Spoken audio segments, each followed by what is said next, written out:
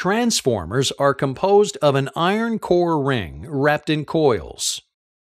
One coil is connected to an AC input voltage and is called the primary coil. The other coil is connected to an output circuit with a load resistance and is called the secondary coil. The two coils are well insulated from each other and do not form a physical electrical connection. This gives a transformer its unique electricity altering properties.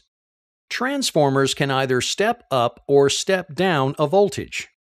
In a step down transformer, the number of turns in the primary coil is greater than the number of turns in the secondary coil.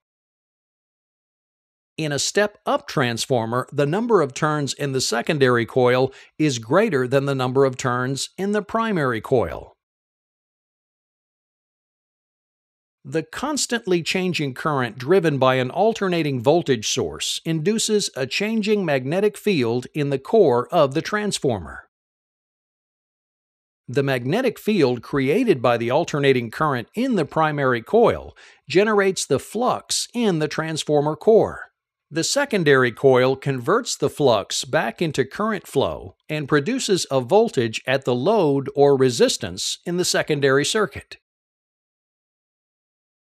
If there are fewer coil turns on the secondary than on the primary, this is called a step down transformer the resulting voltage in the secondary circuit will be less than the primary.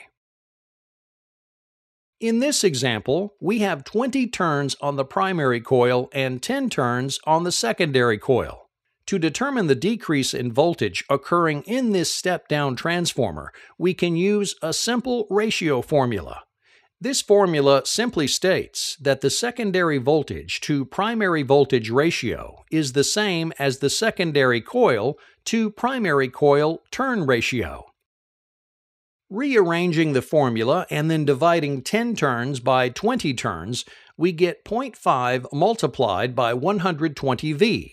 This results in a calculated step-down voltage of 60 volts.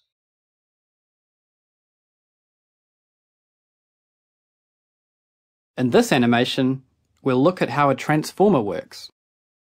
This is a typical oil-cooled step-down transformer. Transformers step voltages up or down. Electricity comes in on one side at one voltage and goes out on the other at a different voltage. On the outside of the transformer are a number of external components. Some help it to remain at a good working temperature some help make it safer in the event of an accident, and some are used for monitoring.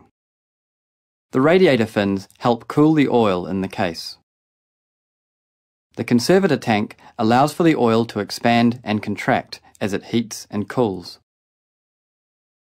The explosion vent protects the transformer in the event of a major fault. The bushings insulate the conductors where they enter the case. The tap changer sets the exact amount of voltage change.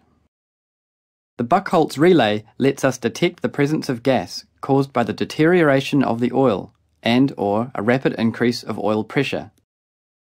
Let's look inside the case at the transformer itself.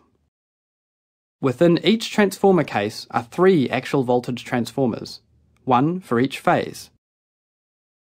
Each has its own conductor in and conductor out. A transformer is a laminated steel core surrounded by two different layers of wire windings. One set of windings has fewer loops of wire than the other. The one with fewer loops is the low voltage set of windings. The low voltage windings sit between the core and the high voltage windings. Let's see how it works. The current comes into the transformer through a conductor that joins onto the high voltage windings.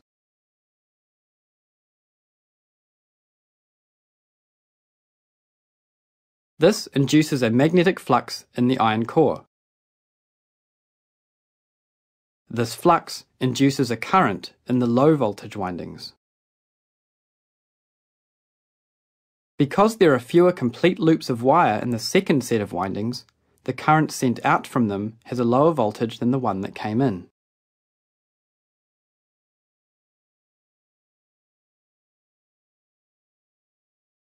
To adjust the final voltage further, we can use tap changes. These reduce the number of windings on the low voltage side still further by changing the location of the conductor that leads out of the transformer.